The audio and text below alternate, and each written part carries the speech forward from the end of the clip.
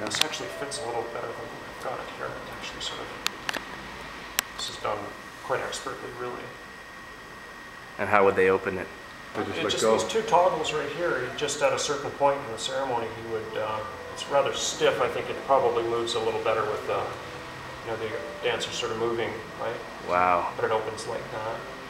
that's great. Mm-hmm.